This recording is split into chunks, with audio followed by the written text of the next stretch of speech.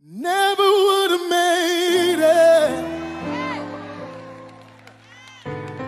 Never could have made it without you. I would have lost it all. But now I see how you were there for me, and I can say, never Good greetings and welcome to Serenity with Dr. PJ Banks Anderson, pastor and senior minister of St. Stephen's Community Church United Church of Christ. The prayer for which our time together is named is written by Reinhold Niebuhr, and it reads God, grant me the serenity to accept the things that I cannot change, the courage to change the things that I can, and the wisdom to know the difference. The primary purpose of this show that we call Serenity is to share with you information and inspiration.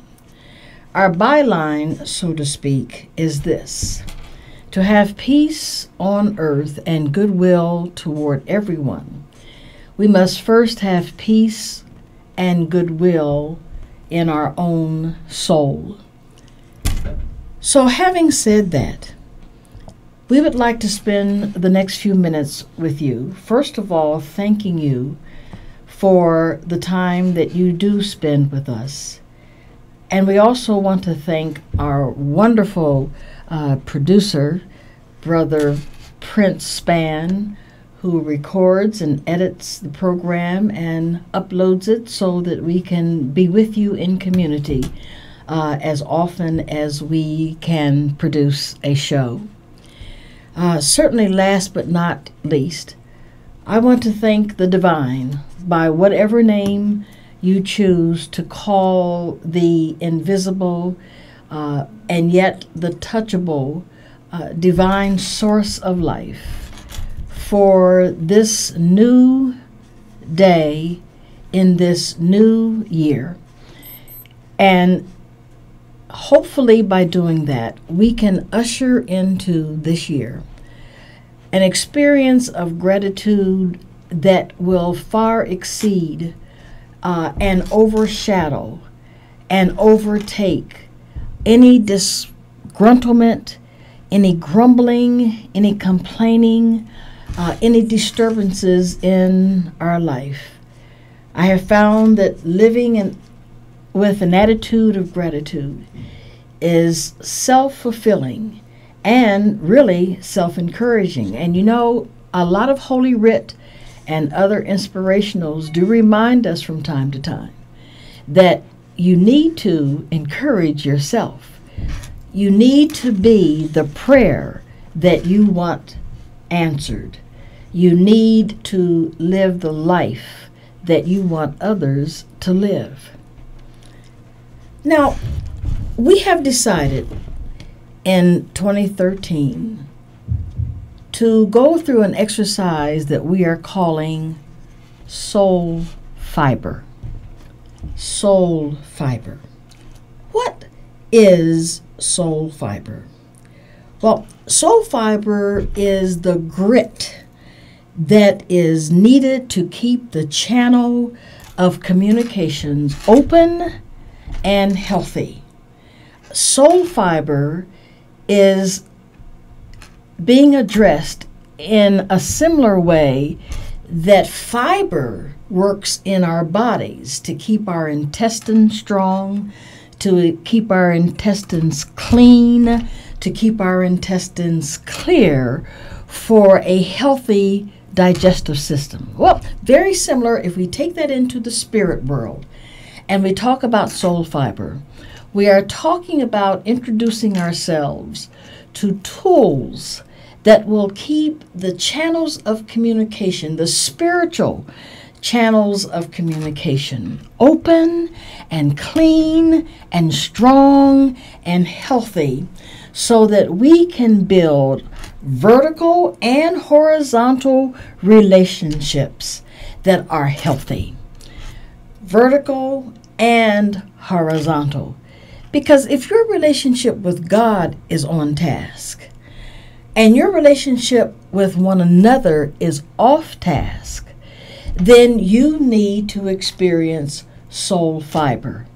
Holy Writ puts it this way How can you love God whom you have not seen and not love one another whom you see every day?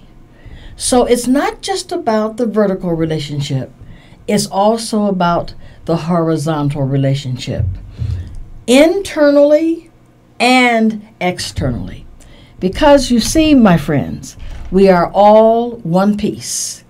You know, you can't say to the hands, uh, I have no need of you today because I need to do some footwork. And you can't say to your feet, I don't need you today because I need to work with my hands. Because you can't separate the feet from the hands. You can't separate the eyes from the ears. It is all one piece. And so, this is what my task, what my personal goal for 2014 is to develop relationships, to go deeper into my relationships with others, with myself, and with the self, capital S, by whatever name. So, having said that, we started out this year as a community, as a St. Stephen's community, without electricity. How about that? All over many places in the state of Michigan, people have been without electricity, people have been without heat. Some people are still lacking having their, their, their power uh, restored. But what we learn from that is the importance of already being in relationship with others. I, I, don't know if you've noticed it or not, but it just seems to me that when there is a crisis, the community has a way of coming together. Uh, the family community, uh, people have opened their homes to family members. Many in laws have had to apologize to their family in order to find uh, warmth, in order to find a place to stay. And, and and that's okay. If that's what it took for you to apologize for some things that you may have said that you should not have said or some things that you've done that you should not have done so be it. But that that's that's my point that it should not be a crisis uh, in our lives. Before we develop relationships with one another, with family members, and with God. Because a lot of times that's the only time we go to our higher source, is when we have lost uh, a loved one, when we have lost power, when we have lost our jobs, when we're about to lose our minds. Now we want to pray. Now we want to have a conversation with our higher being. Now we want to connect with our higher power. And the point that I am making is let's stay connected. Let's stay connected with one another. Let's stay connected with our higher power. And so, when we found ourselves coming up to the uh, last Sunday in 2013, which would have been our second Sunday without power at the church, uh, God had so arranged it that we had service at Al Shabazz Academy uh, right off of Martin Luther King Jr. Boulevard, where Dr. Eugene Kane is the principal. What do I mean by God arranged all of this? Well, Dr. Kane and I had a conversation a few months ago, uh, back in late summer. And we talked about building community between Al Shabazz and St. Stephen's Community Church, and how we could start doing that. And one of the ideas that, uh, or one of the ministries that we already have established at St. Stephen's is every fifth Sunday, the youth are in charge. Uh, we try to identify a speaker that is younger than 30 years old, and all of the participants in the service are younger than 30, preferably younger than 20. Our first speaker was 12 years old, and she did a phenomenal uh, job in capturing a message on obedience. Her name is Gabby uh, Gabrielle Gaskin. And, and, and we followed suit that entire year that we started it, and everyone that spoke was under uh, 20 years old, except for one individual who is under 30. So, with that idea in mind, I shared with Dr. Kane that it would be a wonderful idea if Shabazz would be in charge of our fifth Sunday service in December, the last service of the year. We did not know then that it would have been necessary. We only knew then that we wanted to develop a community in which there was an exchange of some sort between a local church and a local uh, private academy. And that's how it worked out. When the 29th came around and we had no electricity, and it was the fifth Sunday in uh, December, we instead of worshiping at St. Stephen's Community Church on Kimberly, we worshiped at Al Shabazz Academy uh, with Dr. Kane, many of his staff, most of his students, and more than just a few of the parents. It was an awesome experience, and it is my hope that you will be able to see some of the clippings of that experience during uh, our time together today on serenity. The title of the sermon on the fifth Sunday in, Jan- in December was The Lessons I Learned from the Ice Storm of 2013. Brother Haywood was the speaker. He was a wonderful speaker. And he talked about his lessons. But let me share with you what I took from his lessons. One of the first things that I took from the lessons that he spoke about was the reality that we really have no control over the elements. There are there are scientific efforts to put uh, what I would call miniature GPSs or miniature satellites in the, the, the movement of tsunamis and in the and in the movement of hurricanes. You know, we we uh, uh, we have tornado chasers uh, that make it their living to study you know this this this this phenomenon uh, that is most more often experienced in uh, the Midwest, uh, particularly in Nebraska and that part of the country, than we experience uh, on the East Coast, for the exception maybe of Ohio. And so, and, and, maybe some other places that I'm certainly not aware of. But the point that I'm making it, it is with all of the research that we are attempting to, to, to, to implement in order to track these storms and try to get ahead of these storms and try to prepare for these storms. That is about the tall and short of where we're going to be able to go uh, in terms of storm development. We may be able to track them, we may be able to prepare for them, uh, we may be able to, to watch for them be on the alert for them, but the one thing that we cannot do is produce them. And so, and so, coming to that uh, realization, it really is a sobering reminder because we don't really think about things like ice storms until the outage goes out. We don't think about tornadoes until the roof has been blown off of our homes. We don't think about earthquakes until some until some building has been shaken to the ground. We don't think about those things.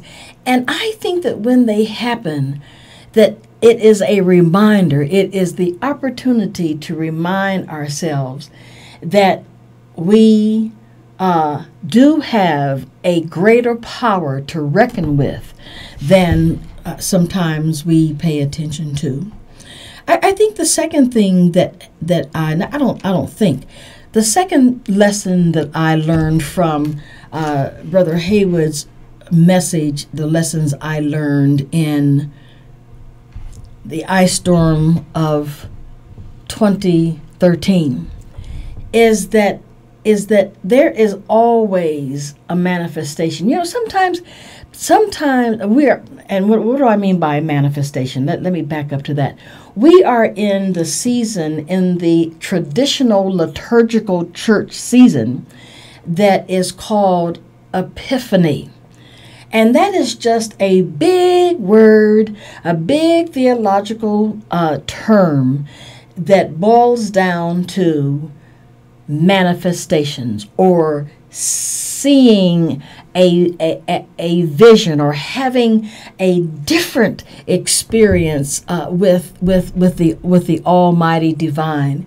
And, and in this case, most, most faith based organizations, particularly traditional faith based organizations, use the, use the text in Holy Writ that talks about the Magi, that talks about the three uh, gentlemen coming from the east to visit the toddler Christ child at this point and bringing three gifts uh, gold, frankincense, and myrrh, I believe, were the three gifts. And the manifestation for them was the star in the sky, following the star to Bethlehem. And a lot of times you will see the three wise people along with the shepherds and and the animals uh, at the manger. Well, that's not quite theologically correct because by the time the Magi followed the star to Bethlehem, uh, the, the, the child was no longer, the Christ child was no longer in the manger. But all that uh, notwithstanding, uh, Epiphany uh, time of the year can happen to us every day of the week if we paid attention to the awesome mysteries uh, of the universe. I, I, I don't know about you, but as a child, I used to go outside in the summertime, and a lot of times I would lay in, in the backyard and I would look up at the sky and make out images of the clouds. And as I got older, uh, sometimes I would I would go to the um, go to the to one of the local parks, um, and and I would roll back my sunroof, and I would just look up and behold the stars, not not trying to count them or anything like that. And sometimes I've even experienced, I have seen with my own eyes falling stars. And I have literally driven through rainbows. And, and, and it was a very uh, awesome experience for me because I happen to be interested in the mysteries of the universe, the mysteries of creation, uh, whether one sees creation from the Big Bang point of view or whether one sees creation from uh, and God said, let there be, uh, or whether one sees creation as as amoebas coming out of the ocean and and evolution going uh, up to where we are today as full grown uh, human beings, or whether we see creation as uh, in in the in the words of John Weldon Johnson, and God scooped up the clay in his hand and formed uh, uh, uh, an individual in the image of God, which is spirituality with a soul, spirit and soul, and blew, blew into this this this lump of clay uh, the breath of life. Uh, however, you look at creation, whether you look at it from the evolutionary point of view or from the divine point of view, that it is a mystery, that it is just absolutely magnificent to experience these manifestations of a power greater than ourselves. So that that's the second lesson that I learned from from the lessons that uh, Brother Haywood introduced to us uh, uh, on the last Sunday in December. And last but not least, the lesson that I learned is this idea of new beginnings. We don't we don't have to experience new beginnings only uh, January 1 of every year. We have been so created that we can experience new beginnings every morning that we awaken. We can start our day every day looking for something new to add to uh, ourselves, looking for a new way of expressing our love to one another, looking for a new way to communicate uh, kindness uh, to someone, looking for a new way to, to, to be stewards over the resources that we have. You know, on my way to the studio today, I passed a gentleman standing on the side of the road. And uh, at first I said, Well, you know, I'm, I'm just not going to give any money away today. And the stoplight caught me. So I said, Oh, Lord, okay. Not begrudgingly, but I looked at him and out of pity. I mean, th- this, this man must be a good, I don't know, 60, 70 years old. And uh, it is cold in Michigan. It is snowing in Michigan. And he is standing out here with his sign and so I gave him, uh, I gave him a, a, a, more than a dollar. And when he took it, I noticed that he couldn't even say thank you. He doesn't have the ability to speak. And it almost brought tears to my eyes because I didn't want to give it to him. But when the light caught me, I felt that that was an opportunity to reconsider and I am so grateful that that light caught me and that I was able to minister to this person. And I'm not saying that giving money is the only way uh, I can minister to a person, because to be honest with you, I think I'm going to go and get him some glove warmers. Because if this is the route that he needs to take, if this is the route that he can only take to make a living, then I feel in, that it is incumbent upon me to find a different way to share the resources that God has exposed to me to share with others. I, yes, you, you know, we do hear and we do read about uh, street people or people on the street or homeless people on the street uh, who die and discover that they've got hundreds of thousands of dollars in, in the bank. But but the point is, is that any of my business? If if I am looking of, for a way to build better relationships, if I am looking for a way to better respond to the gifts that have been bestowed upon me, if I am looking for a better way to be a better person, then that's the agenda. It is not what the person that is receiving from the hands, uh, through the hands of, from the hands of God through my hands, uh, from the mind of God through my mind, from the mouth of God through my mouth. Uh, that that's that's not of interest to me What's of interest to me is that I do the best that I can to make somebody else's life better, to leave this world better than I left it. And so that, that almost takes us back to where we began, and that is with uh, the serenity prayer that we will very soon be sharing again. But before getting to that, we want to invite you. We want to invite you to consider becoming a part of the team of believers that are gathering at St. Stephen's Community Church, United Church of Christ, 1007 Kimberly Drive, in Lansing near the Frandor area, right off of Saginaw and Chester. When you cross the 170 127 expressway on Saginaw, Grand River that becomes Saginaw, or maybe it's Saginaw that becomes Grand River. And as soon as you cross the expressway, make that first right hand turn and then the first left hand turn, and we are the church straight ahead, that you will consider becoming a part of our team. We are intentionally building a multiracial, multicultural, intergenerational community of faith. And we would love for you to come and help us uh, do that.